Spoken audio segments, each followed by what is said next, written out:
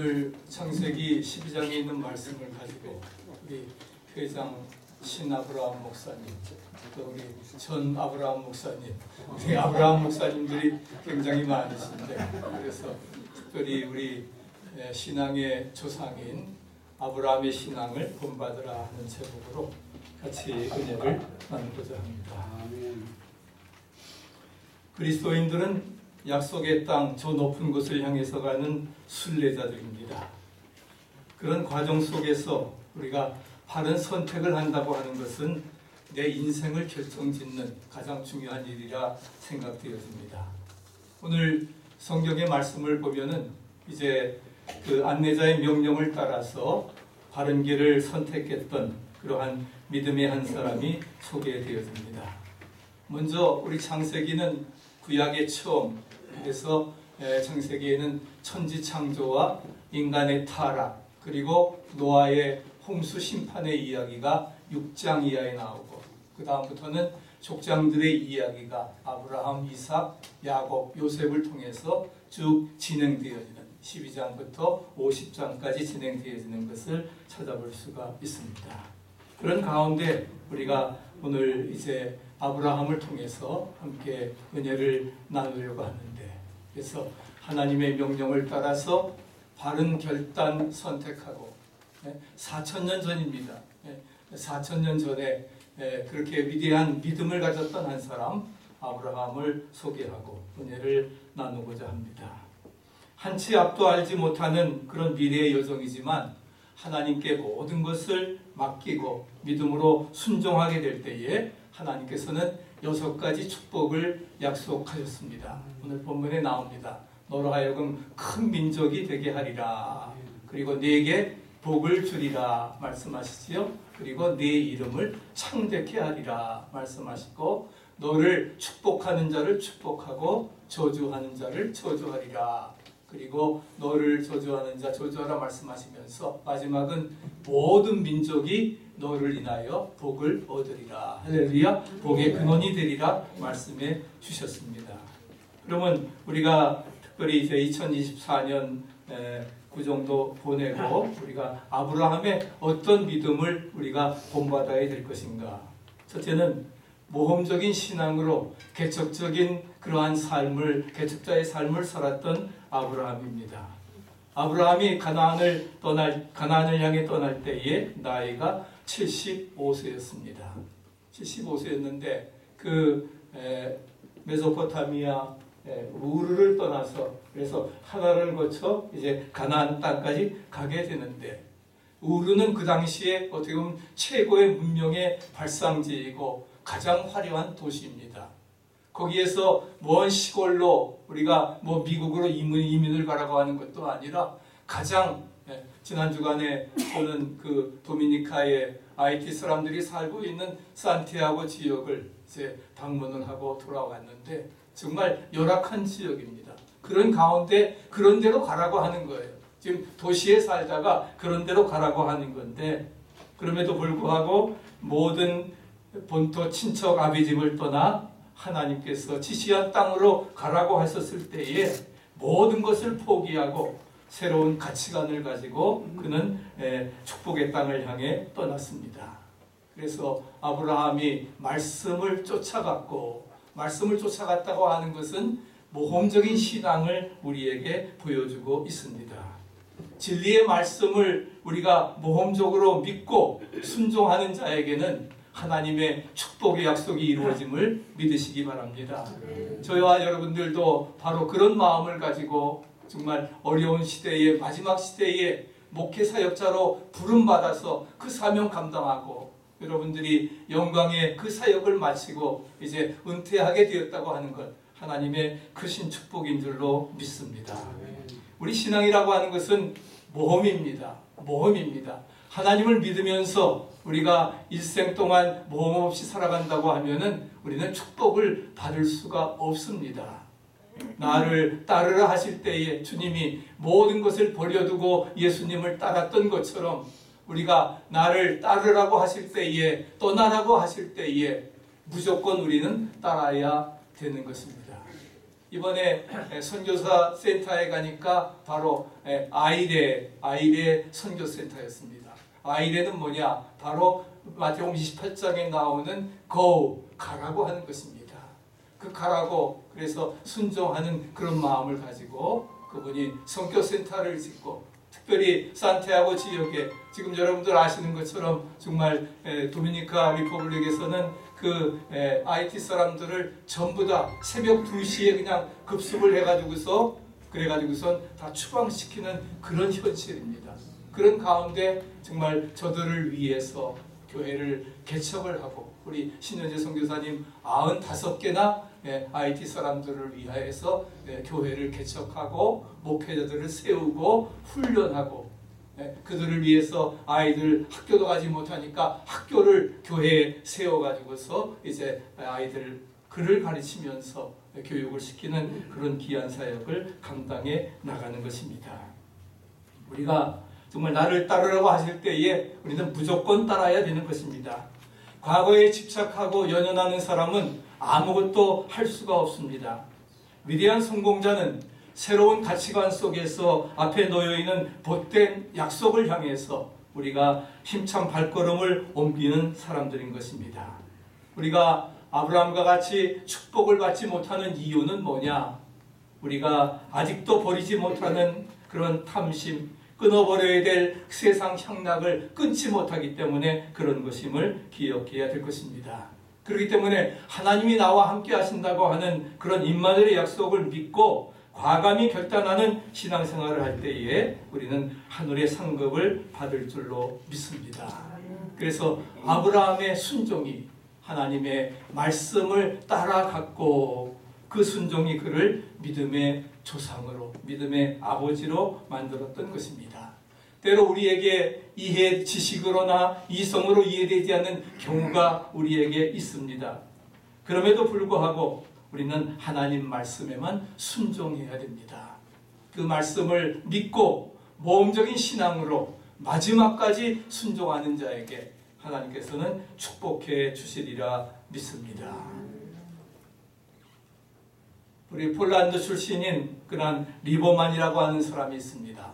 아홉 살 때 이제 그 five of를 들고서 미국에 이민을 와가지고서 그래서 이제 그가 맨하탄에서 에, 부모님이 같이 과자 가게를 운영을 하면서 살았는데 그리고 74살에 74살에 에, 은퇴를 했습니다. 그리고 매일 노인정에 나아가서 체스를 하면서 시간을 보냈는데 하루는 체스 그 에, 함께한 그러한 파트너가 약속을 어겨서 혼자 무료한 시간을 보내고 있을 때에 그 젊은 봉사 요원이 다가와서 말했습니다. 할아버지 심심하시면 그림을 한번 좀 그려보세요. 그 얘기를 듣고 리버만이 화실을 찾아갔습니다. 그리고 그때부터 10주간 화실에 가서 교육을 받았습니다. 그리고 놀라운 재능을 발휘했는데 그때 나이가 81세였어요. 81세였습니다. 그 후로 그가 그림을 그리는 것마다 순식간에 팔려나가면서 아주 미국의 샤갈로 불려지게 되었습니다. 103세까지 살았는데 이제 22년 이제 22주년 개인전을 열어서 101살에 101살에 개인전을 열어서 세상을 놀라게 했고 그분의 그림입니다. 그러니까 미국의 샤갈이라고 할 정도로 그렇게 오히려 은퇴한 다음에 74세부터 아브라함처럼 정말 75세에 부름받아서 100세에 이삭을 낳은 것처럼 그렇게 103세까지 살면서 그런 놀라운 그런 미국의 샤갈로 불려지게 되었던 것입니다. 죽기 전까지는 어떤 것도 늦지 않았습니다. 문제는 우리가 믿음으로 시도하지 않는다고 하는 것입니다. 그렇기 때문에 꼭 필요한 것이고 하고 싶은 것이라고 하면은 늦었다고 생각하지 말고 여러분 지금부터 시작하시기를 축복합니다. 예. 제가 항상 얘기하지만 retire, retire 은퇴하고 끝나는 게 아니에요. retire, 타이어 이제 새로 끼고 이제 여러분 새로운 사역을 시작해 나갈 수 있으리라 믿습니다. 예. 사실 우리가 목회하다 보면은 뭐 가고 싶은데 마음대로 가지도 못해요. 예? 그렇게 하고 못하는데 저는 이제 내년에 제가 retire 할 텐데 저는 이제 retire 하면은 저희 딸한테 좀 많이 좀 도와달라고 해서 마음껏 선교 여행 하려고 합니다. 예? 이번에도 가서 이게 필요한 게 마찬가지 여러분들도 정말 리타이어 타이어 새로 끼시고 이제는 원하시는 사역 향해서 마음껏 기쁨으로 나가시기를 축복합니다. 예? 지금 시작하십시오. 예? 늦지 않았습니다. 두 번째는 우리가 아브라함은 먼저 재단을 쌓는 그러한 하나님 제일주의의 신앙을 가졌습니다. 오늘 7절의 말씀 보면은 아브라함은 장막을 치기 전에 먼저 재단을 쌓았다. 유목민들에게 우리 에, 저기 그 등산 가서도 제일 먼저 하는 일이 무엇입니까? 텐트 치는 일이에요. 텐트 치고 그 다음에 모든 사역을 시작하는데 이 아브라함은 뭐예요? 텐트를 치기 전에 먼저 재단을 쌓았다. 할렐루야 말씀을 하고 있습니다. 우리도 우리에게 필요한 것도 마찬가지입니다. 하나님 제일주의의 신앙을 갖는 것이고 또 우리가 하나님 앞에 그 영적으로 예배드리게 될 때에 하나님께서 우리와 동행하시고 통찰력과 영적인 감화력을 주실 줄로 믿습니다.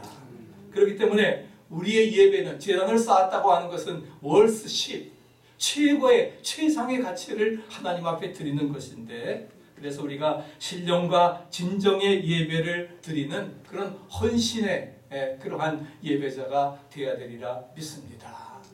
우리 성공 뭐에 성공해야 되느냐? 예배에 성공하라. 한번 자 주사해 보세요. 예배에 성공하라. 아멘. 예배 성공하는. 그래서 정말 모든 것을 하나님 앞에 내어 맡기고 하나님을 두려워하면서 재단 중심의 삶, 감사와 찬송의 삶, 기도와 간구의 삶을 사는 그런 복 있는 사람이 바로 축복의 복의 근원이 되어지는 축복의 통로가 되어지는 아름다운 역사를 이루어 나가게 하시리라 믿습니다. 하나님 앞에 예배 드릴 때에 하나님께서는 우리와 동행해 주십니다. 내가 너와 함께 하리라. 네? 너를 붙들어 주리라. 의로운 손으로 안보해 주리라. 이사야 41장 8절에 말씀하신 것처럼 두려워 말라. 내가 너와 함께함이라. 임마누엘은 최고의 축복인 줄로 믿습니다. 하나님 앞에 예배 드릴 때에 우리와 동행하시고 우리에게 통찰력을 주시고 영적 감화력을 주심을 믿으시기 바랍니다.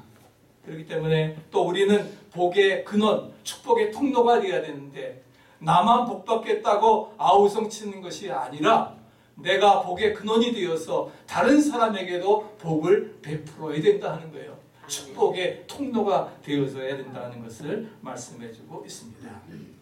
마지막 세 번째는 순종하는 믿음을 소유한 헌신의 사람이었습니다. 우리 창세기 22장 1절 2절 같이 한번 읽어보실까요? 그 일 후에 하나님이 아브라함을 시험하시려고 그를 부르시되 아브라함아 하시니 그가 가로되 내가 여기 있나이다 여호와께서 가라사대 내 아들 내 사랑하는 독자 이삭을 드리고 모리아 땅으로 가서 내가 내게 지시하시는 한 산 거기서 그를 번제로 드리라 번제로 드리라 말씀하십니다. 하나님께서 아브라함에게 네 아들 이삭을 번제로 드리라 말씀하십니다. 얼마나 청천벽력 같은 얘기입니까? 아내하고 상의할 수도 없지요. 이 노인네가 이제는 노망 미쳤나? 아들을 드리다니. 그러니까 뭐예요? 사라에게도 얘기하지 아니하고 모리아 산을 향해서 인내 사흘 길을 내 종을 데리고서 함께 갑니다. 그 사흘길 가는 길이 얼마나 괴로운 길이겠어요. 오늘 모리아산은 바로 오늘 그 황금 돔에 있는 바로 예루살렘 성전이 지어졌던 그러한 곳입니다. 그 재단이 바로 모리아의 그런 재단이라고 이렇게 이야기를 하는데 여러분 번제라고 하는 것 번제가 무엇입니까? 번제는 양을 잡아서 그 다음에 각을 떠가지고서 해서 태우고 그 죄는 묻어버리는 것이 번제입니다. 제사 중에도 가장 희생을 요구하는 그러한 제사입니다. 그러면 왜 하나님께서 왜 아들을 예, 이삭을 번제로 드리라고 하셨을까? 아시는 것처럼 이삭은 예, 백세에 난 아들입니다. 어느 무엇과도 바꿀 수 없는 가장 귀한 그런 그 가정의 보배입니다. 그러니까 애지중지하면서 이제 키워왔습니다. 키워왔는데 그래서 소년이 되었습니다. 그런데 그 예, 이제는 뭐예요? 정말 이삭이 애지중지 키워서 가장 너무나 하나님보다도 더 사랑하는 것 같으니까 하나님께서 아브라함을 시험하사 내 아들을 번제로 드리라 이렇게 말씀을 하셨습니다. 번제로 드리라고 하는 말에는 몇 가지 의미가 있습니다. 첫째는 뭐예요? 없애버리라 하는 거예요. 네가 우상같이 여기는 가장 귀히 여기는 그 아들 없애버리라 하는 거예요. 만약에 네가 없애지 않는다고 하면은 내가 없애버리겠다. 하나님보다 더 사랑하는 것이 있습니까? 그것이 현대적인 우상이지요. 그럼 우리가 없애버려야 됩니다. 두 번째는 바치라고 말씀하십니다. 그 가정에는 이삭이 제일 귀한데 하나님 이삭 말고 딴 거 같으면 제가 다 바치겠는데 이삭만큼은 안 됩니다 하는 그런 것입니다. 근데 하나님 바로 그것을 요구하시는 거예요. 그 아들을 바치라고 하는 것입니다.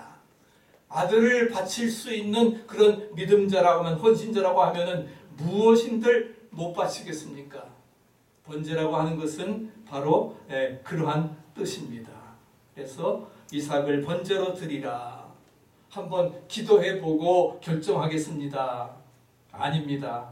그냥 날이 밝기 전에 행동으로 옮깁니다. 이삭이 말합니다. 아버지 왜 그러느냐? 불과 나무는 준비되어 가는데 번제 드릴 양은 어디 있습니까? 그 말을 듣는 순간에 아마 아브라함은 정말 찢어질 듯 마음이 아팠을 거예요. 바로 이놈 네가 번제 드려야 될 양이다.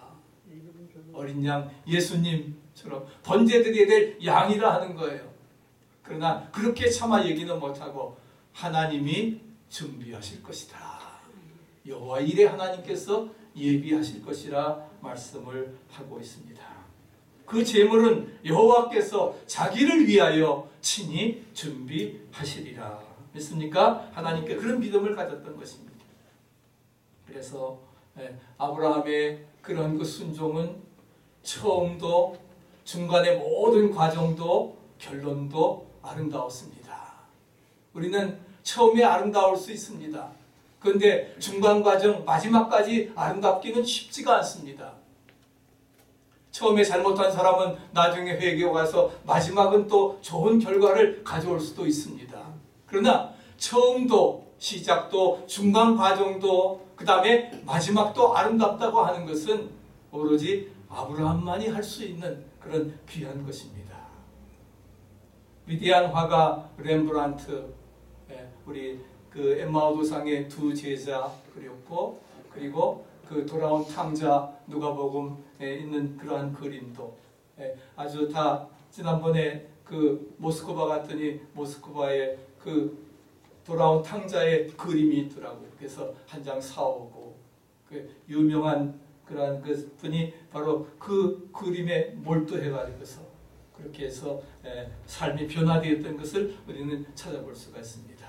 그 레브란트가 아브라 모리아산의 아브람이라고 하는 에, 걸작을 남겼는데 이 그림의 세 가지 주제가 선명하게 에, 살아 있습니다.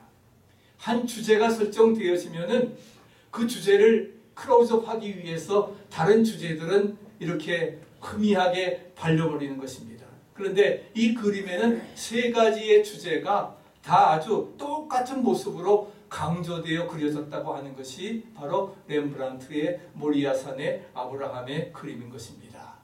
첫 번째는 우리가 모습을 볼 수가 있습니다. 제단의 가슴을 풀어 헤친 채 누워 있는 이삭의 모습입니다. 자기를 죽이라고 했을 때에 그래도 뭐예요? 막을 수도 있죠. 아버지 돌았어요. 나를 죽이려고 하다니. 그렇지만 우리 그림에 보면은 뭐예요? 절 죽이세요. 전혀 한거하지 아니하고 평화롭게 누워 있는 그러한 모습을 평화 자체입니다. 두 번째는 주제입니다. 주제인데 모든 힘이 실린 팔과 그래서 칼을 들고 내려치는 그 힘이 들린 팔과 그 다음에 그 에, 천사가 한 손으로 그 다음에 그 에, 비장한 얼굴을 볼 수가 있는 것이지요. 그래서 정말 이 아들을 죽여서 바치리라고 하는 그런 비장한 모습 그리고 예, 힘이 실린 팔을 볼 수가 있습니다. 세 번째는 그 위에 화급한 천사의 표정입니다. 천사는 한 손으로 아브라함의 손을 붙잡지요. 그리고 본문에 보면은 아브라함아 아브라함아 멈추어라. 이제야 네가 나를 사랑하는 줄 알았다고 말씀하시면서 그래서 정말 이제야 내가 여호와를 경외한 줄 내가 알았더라고 하면서 그러면서 내가 집에서 떠날 때부터 지금까지 처음부터 중간 마지막까지 지켜보았는데 검증 결과가 excellent 좋았다는 겁니다. 믿습니까? 예, 검증 결과가 좋았다고 하는 그러한 것입니다. 그래서 하나님께서는 17절에 우리가 이런 약속을 주십니다. 같이 읽어보시죠. 네게 큰 복을 주고 원수의 성문을 얻고 네 씨로 천하 만민이 복을 받으리라. 네게 큰 복을 주고 이미 앞서 뭐예요? 너는 복의 근원이 되리라. 축복의 통로가 되고 원수의 성문을 얻게 하시고 할렐루야 내 시로 천하 만민이 복을 받으리라. 아브라함과 다윗의 자손 예수 그리스도의 세계라. 그래서 믿음의 조상이 되었던 것을 찾아볼 수가 있습니다. 순종의 믿음을 소유한 헌신의 사람 아브라함에게 하나님께서는 정말 우리에게 이런 놀라운 축복을 주셨던 것을 찾아볼 수가 있습니다. 그래서 이삭을 바친 최상의 헌신을 유명한 성경학자 매튜 헨리 목사님은 아브라함의 순종을 기이한 복종이라 했어요. 아브라함의 순종을 기이한 복종이라. 왜 기이한 복종이라고 하는 거예요? 이건 아무나 할 수 없는 오직 아브라함만 할 수 있는 기이한 복종이라고 말씀을 하고 있습니다. 우리가 아브라함을 흔히 순종의 대표자로 순종하는 믿음이라고 이렇게 말합니다만은 그러나 보다도 강조하면은 순종의 믿음이 아니라 복종하는 믿음입니다. 믿습니까? 그래서 우리가 그럼 순종과 복종이 좀 차이가 있는데 순종은 뭐냐? 내가 함께 동의해서 기쁨으로 따라가는 것입니다. 그것을 우리가 바로 인카네이션 성육신 사건이라고 말할 수가 있지요. 그는 근본 하나님의 본체셨지만 동등됨을 취할 것으로 여기지 아니하시고 자기를 비워 종의 형체를 가져 마지막에는 십자가에 죽기까지 주님 땀방울이 핏방울 되어 기도하신 거 이 잔을 내게서 옮기시옵소서 그러나 내 원대로 마옵시고 아버지의 뜻대로 하시옵소서 그래서 기쁨으로 따라가는 것 동의해서 따라가는 것이 순종 사건 그러나 복종은 뭐예요? 복종은 순종보다도 한 단계 넘어서는 겁니다 내가 동의할 수 없어요 내가 도저히 어떻게 따라갈 수 없는 그럼에도 불구하고 nevertheless 우리가 다니엘의 세 친구처럼 금신상에 절하지 않는 죽으면 죽으리라고 하는 에스더처럼 그런 믿음을 가지고 동의할 수 없는데도 따라가는 것이 바로 복종의 사건인 것입니다. 그것이 바로 예수님의 십자가 사건이지요. 내 원대로 마옵시고 아버지의 뜻대로 살든지 죽든지 뜻대로 하시옵소서. 주님도 때로는 울기도 하셨네. 우리가 정말 그 말씀처럼 우리가 내 주여 뜻대로 행하시옵소서. 우리 복종하는 믿음을 가져야 되리라 믿습니다. 우리 히브리서 13장 17절 같이 한번 읽어보시죠. 너희를 인도하는 자들에게 순종하고 복종하라. 저희는 너희 영혼을 위하여 경성하기를 자기가 회개할 자인 것 같이 하느니라. 저희로 하여금 즐거움으로 이것을 하게 하고 근심으로 하게 하지 말라. 그렇지 않으면 너희에게 유익이 없느니라. 너희를 인도하는 자들에게 순종하고 복종하라. 이건 우리 교인들에게 해야 될 말씀인데 우리 교인 우리 이면서 집사님밖에 없네. 하지만 우리 우리 우리가 다 그렇게 해서 우리가 즐거움으로 하게 하고 근심으로 하게 말라. 그렇지 않으면 너에게 아무런 유익이 없다 말씀하고 있습니다. 히브리서 11장에 보면은 유명한 믿음장입니다. 이번에 제가 에, 그 ITA 등대교회 저희가 3년 전에 팬데믹 때 우리 에, 우리도 자체 성전이 없지만은 그 사람들을 위해서 교회를 지어줘야 되겠다 해가지고서 그렇게 해서 만부를 들여서 교회를 지었습니다. 교회를 지어서 이제 봉헌식은 못했지만 제가 3년 뒤에 이렇게 가서 수요일 날 예배를 드리는데 저녁 6시부터 뭐 사람들도 정말 두려운 가운데도 그래도 한 40여 명이 이렇게 모여서 저녁 6시부터 9시까지 3시간 동안 찬양하고 기도하는데 제가 히브리서 11장에 있는 말씀을 가지고 저는 위대한 신앙을 본받으라 하는 그런 제목으로 15분 설교하고 15분 통역하고 해서 있는데 그리고서는 정말 찬양하고 기도하고 하는데 정말 초대교회를 방불하는 그런 모습이더라고요. 정말 환란과 핍박 중에도 저들이 신앙을 지켜가는 그러한 모습이 너무나도 아름다운 것이었습니다. 그래서 바로 이런 사람들을 히브리서 11장 38절에 뭐라고 말씀하십니까? 이런 사람들은 세상을 이기는 믿음이다. 그 다음에 세상이 감당치 못하도다. 아멘? 세상을 이기는 믿음, 세상이 감당치 못하는 믿음이 되어야 될 것입니다. 그리고 히브리서 11장 끝난 게 아닙니다. 40절까지 있지만 41절에는 저와 여러분들의 이름이 기록되어져야 되리라 믿습니다. 예? 위대한 믿음의 사람들로서 어떻게 살았는가 하는 것을 그래서 오늘 세 가지를 말씀을 드렸는데 모험적인 신앙으로 개척자의 삶을 살고 재단을 쌓는 하나님 제일주의 신앙을 가지고 순종하는 믿음을 소유한 헌신의 사람이었습니다. 윌리엄 커레이가 하나님을 위해서 위대한 일을 기대하라. 또 하나님을 위하여 위대한 일을 시도하라. 말씀하셨습니다. Expect the great things from God. 하나님으로부터 위대한 일, 하나님이 나를 통해서 나를 부르셔서 어떤 일을 이루실까 기대하면서 아까 리타했지만 끝나는 게 아니라 새로운 그런 사역을 위해서 기대하면서 나가시기를 바랍니다. 그리고 하나님을 향해서 위해서 위대한 일을 시도해 나가는 노아처럼 120년 동안 방주를 짓고 아브라함처럼 이삭 바치라고 할 때에 바칠 수 있고 그럴 때 하나님께서 뭐예요? 여호와 이레의 축복을 우리에게 주시리라 믿습니다. Exercise the great things for God. 하나님을 위해서 위대한 일을 시도해 나가라. 우리 이러한 이러한 귀한 믿음을 본받고 이제 우리 은퇴하신 목사님들 사모님들 2024년도도 아브라함의 축복을 우리의 것으로 누리는 복된 시간 되시기를 간절히